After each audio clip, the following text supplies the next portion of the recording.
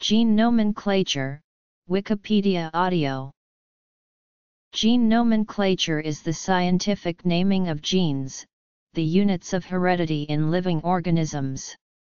An international committee published recommendations for genetic symbols and nomenclature in 1957. The need to develop formal guidelines for human gene names and symbols was recognized in the 1960s and full guidelines were issued in 1979. Several other genus-specific research communities have adopted nomenclature standards, as well, and have published them on the relevant model organism websites and in scientific journals, including the Trends in Genetics Genetic Nomenclature Guide. Scientists familiar with a particular gene family may work together to revise the nomenclature for the entire set of genes when new information becomes available. For many genes and their corresponding proteins, an assortment of alternate names is in use across the scientific literature and public biological databases, posing a challenge to effective organization and exchange of biological information. Standardization of nomenclature thus tries to achieve the benefits of vocabulary control and bibliographic control, although adherence is voluntary. The advent of the information age has brought gene ontology, which in some ways is a next step of gene nomenclature, because it aims to unify the representation of gene and gene product attributes across all species. Gene nomenclature and protein nomenclature are not separate endeavors, they are aspects of the same whole. Any name or symbol used for a protein can potentially also be used for the gene that encodes it, and vice versa. But owing to the nature of how science has developed, proteins and their corresponding genes have not always been discovered simultaneously, which is the largest reason why protein and gene names do not always match, or why scientists tend to favor one symbol or name for the protein and another for the gene. Another reason is that many of the mechanisms of life are the same or very similar across species, genera, orders, and phyla, so that a given protein may be produced in many kinds of organisms, and thus scientists naturally often use the same symbol and name for a given protein in one species as in another species. Regarding the first duality, the context usually makes the sense clear to scientific readers, and the nomenclatural systems also provide for some specificity by using italic for a symbol when the gene is meant and plain for when the protein is meant. Regarding the second duality, the nomenclatural systems also provide for at least human versus non-human specificity by using different capitalization, although scientists often ignore this distinction, given that it is often biologically irrelevant. Also owing to the nature of how scientific knowledge has unfolded, proteins and their corresponding genes often have several names and symbols that are synonymous. Some of the earlier ones may be deprecated in favor of newer ones, although such deprecation is voluntary. Some older names and symbols live on simply because they have been widely used in the scientific literature and are well established among users. Species-specific guidelines Lastly, some proteins and protein complexes are built from the products of several genes, which means that the protein or complex will not have the same name or symbol as any one gene. The Hugo Gene Nomenclature Committee is responsible for providing human gene naming guidelines and approving new, unique human gene names and symbols. For some non-human species, model organism databases serve as central repositories of guidelines and help resources, including advice from curators and nomenclature committees. In addition to species-specific databases, approved gene names and symbols for many species can be located in the National Center for Biotechnology Information's Entrez Gene database. RPOA encodes the alpha subunit of RNA polymerase, RPOB encodes the beta subunit of RNA polymerase, POLA encodes DNA polymerase I, POL-C encodes DNA polymerase III, RPS-L encodes R ribosomal pyridine, S-mol S12. There are generally accepted rules and conventions used for naming genes in bacteria. Standards were proposed in 1966 by Demerec et al. Each bacterial gene is denoted by a mnemonic of three lowercase letters which indicate the pathway or process in which the gene product is involved, followed by a capital letter signifying the actual gene. In some cases, the gene letter may be followed by an allele number. All letters and numbers are underlined or italicized. For example, LEUA is one of the genes of the leucine biosynthetic pathway, and LEUA273 is a particular allele of this gene. Where the actual protein coded by the gene is known then it may become part of the basis of the mnemonic, thus. Some gene designations refer to a known general function. Loss of gene activity leads to a nutritional requirement not exhibited by the wild type. DNA is involved in DNA replication. Amino acids Some pathways produce metabolites that are precursors of more than one pathway. Hence, loss of one of these enzymes will lead to a requirement for more than one amino acid. For example, ALA equals alanine, ARG equals arginine, ASN equals asparagine. Bacterial genetic nomenclature Nucleotides Vitamins Loss of gene activity leads to loss of the ability to catabolize the compound. If the gene in question is the wild type a superscript plus sign is used. If a gene is mutant, it is signified by a superscript. By convention, if neither is used, it is considered to be mutant. There are additional superscripts and subscripts which provide more information about the mutation. General rules Common mnemonics Other modifiers ILV isoleucine and valine. Biosynthetic genes. Catabolic genes. Drug and bacteriophage resistance genes. Nonsense suppressor mutations. Mutant nomenclature. When referring to the genotype the mnemonic is italicized and not capitalized. When referring to the gene product or phenotype, the mnemonic is first letter capitalized and not italicized. Gua equals guanine, pur equals purines, pyr equals pyrimidine, thi equals thymine. Protein names are the same as the gene names, but the protein names are not italicized, and the first letter is uppercase. E.g. the name of RNA polymerase is RPOB, and this protein is encoded by RPOB gene. Bio equals biotin, NAD equals NAD, PAN equals pantothenic acid. The research communities of vertebrate model organisms have adopted guidelines whereby genes in these species are given, whenever possible, the same names as their human orthologs. The use of prefixes on gene symbols to indicate species is discouraged. The recommended formatting of printed gene and protein symbols varies between species. ARA equals arabinose, GAL equals galactose, LAC equals lactose, MAL equals maltose, MAN equals mannose, MEL equals melibiose, RHA equals rhamnose, XYL equals xylose.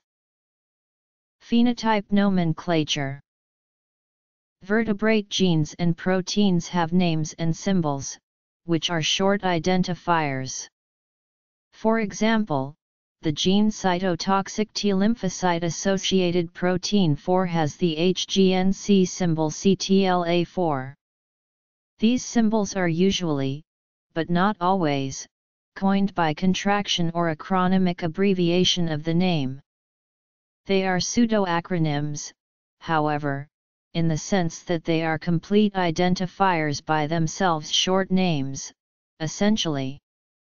They are synonymous with the gene-slash-protein name, regardless of whether the initial letters match.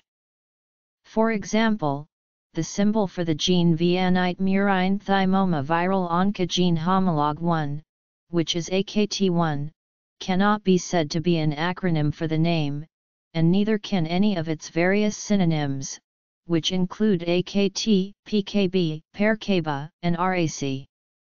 Thus, the relationship of a gene symbol to the gene name is functionally the relationship of a nickname to a formal name it is not the relationship of an acronym to its expansion. In this sense they are similar to the symbols for units of measurement in the SI system, in that they can be viewed as true logograms rather than just abbreviations. Sometimes the distinction is academic, but not always. Although it is not wrong to say that VEGFA is an acronym standing for Vascular Endothelial Growth Factor A, just as it is not wrong that KM is an abbreviation for kilometer, there is more to the formality of symbols than those statements capture. The root portion of the symbols for a gene family is called a root symbol. The Hugo Gene Nomenclature Committee is responsible for providing human gene naming guidelines and approving new, unique human gene names and symbols. All human gene names and symbols can be searched online at the HGNC website, and the guidelines for their formation are available there.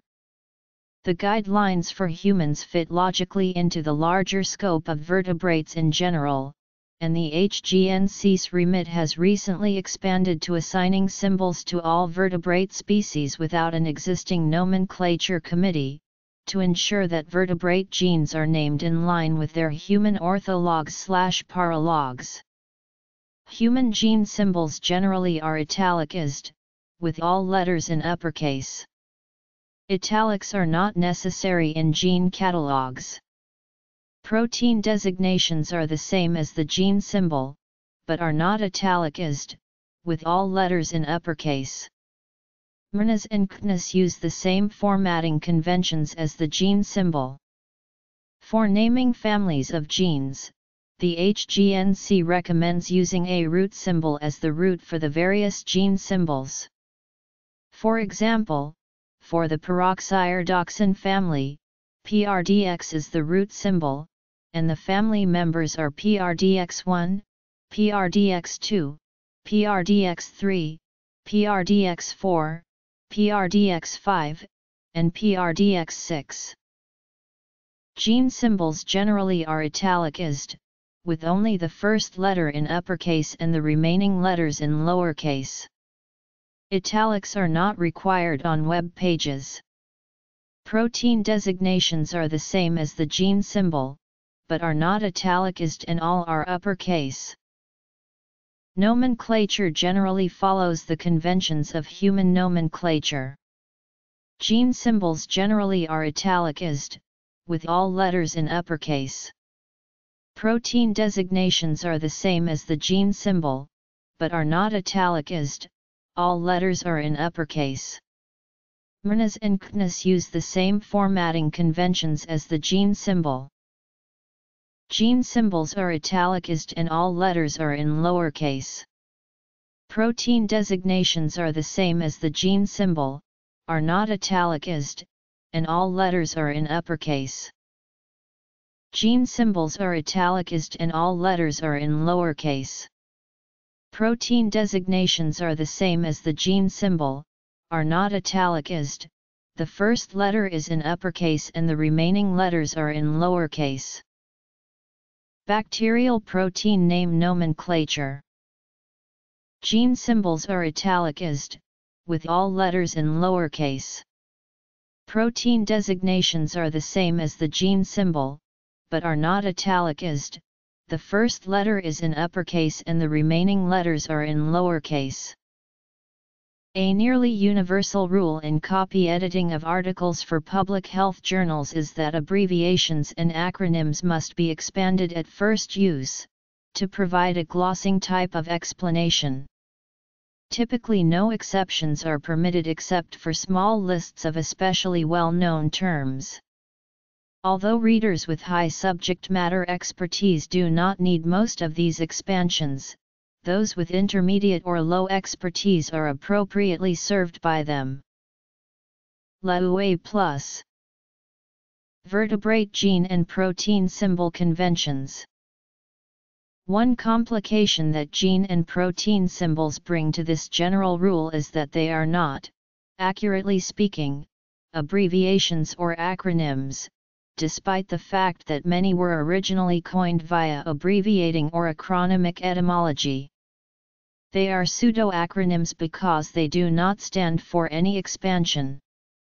Rather, the relationship of a gene symbol to the gene name is functionally the relationship of a nickname to a formal name it is not the relationship of an acronym to its expansion. In fact, many official gene symbol gene name pairs do not even share their initial letter sequences. Nevertheless, gene and protein symbols look just like abbreviations and acronyms, which presents the problem that failing to expand them creates the appearance of violating the spell out all acronyms rule. LEUA One common way of reconciling these two opposing forces is simply to exempt all gene and protein symbols from the glossing rule. This is certainly fast and easy to do, and in highly specialized journals, it is also justified because the entire target readership has high subject matter expertise. And they know where to look them up online for further details if needed. But for journals with broader and more general target readerships, this action leaves the readers without any explanatory annotation and can leave them wondering what the apparent abbreviation stands for and why it was not explained. Therefore, a good alternative solution is simply to put either the official gene name or a suitable short description in parentheses after the first use of the official gene slash protein symbol. This meets both the formal requirement and the functional requirement. The same guideline applies to shorthand names for sequence variations. AMA says, in general medical publications, textual explanations should accompany the shorthand terms at first mention. Thus 188DEL11 is glossed as an 11BP deletion at nucleotide 188. This corollary rule often also follows the abbreviation leading style of expansion that is becoming more prevalent in recent years. Traditionally, the abbreviation always followed the fully expanded form in parentheses at first use. This is still the general rule. But for certain classes of abbreviations or acronyms or standardized polychemotherapy regimens, this pattern may be reversed, because the short form is more widely used and the expansion is merely parenthetical to the discussion at hand. The same is true of gene-slash-protein symbols. TS equals temperature sensitive, CS equals cold sensitive, M equals amber mutation, UM equals umber mutation, OC equals ochre mutation, R equals resistant. Symbol and name Human Mouse and rat The Hugo Gene Nomenclature Committee maintains an official symbol and name for each human gene, as well as a list of synonyms and previous symbols and names. For example, for AFF1, previous symbols and names are MLLT2 homolog, translocated to, 2 and PBM1, and synonyms are AF4 and AF4. Authors of journal articles often use the latest official symbol and name, but just as often they use synonyms and previous symbols and names, which are well established by earlier use in the literature. AMA style is that authors should use the most up-to-date term and that in any discussion of a gene, it is recommended that the approved gene symbol be mentioned at some point, preferably in the title and abstract if relevant. Because copy editors are not expected or allowed to rewrite the gene and protein nomenclature throughout a manuscript, the middle ground in manuscripts using synonyms or older symbols is that the copy editor will add a mention of the current official symbol at least as a parenthetical gloss at the first mention of the gene or protein, and query for confirmation. Some basic conventions, such as that animal-slash-human homolog pairs differ in letter case and that the symbol is italicized when referring to the gene but non-italic when referring to the protein, are often not followed by contributors to public health journals. Many journals have the copy editors restyle the casing and formatting to the extent feasible, although in complex genetics discussions only subject matter experts can effortlessly parse them all. One example that illustrates the potential for ambiguity among non-SMEs is that some official gene names have the word protein within them, so the phrase brain protein I3 and brain protein I3 are both valid. The AMA manual gives another example, both the TH gene and the TH gene can validly be parsed as correct, because the first mentions the alias and the latter mentions the symbol. This seems confusing on the surface, although it is easier to understand when explained as follows, in this gene's case, as in many others, the alias happens to use the same letter string that the symbol uses.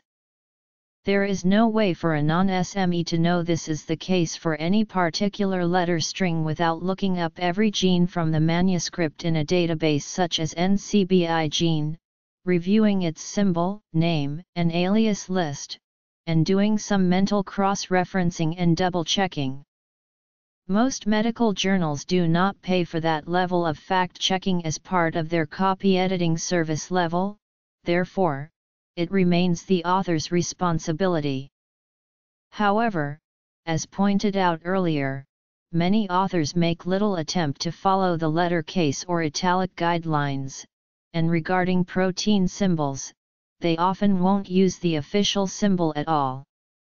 For example, although the guidelines would call P53 protein TP53 in humans or TP53 in rats, most authors call it P53 in both, not least because of the biologic principle that many proteins are essentially or exactly the same molecules regardless of mammalian species. Regarding the gene, authors are usually willing to call it by its human-specific symbol and capitalization, TP53, and may even do so without being prompted by a query.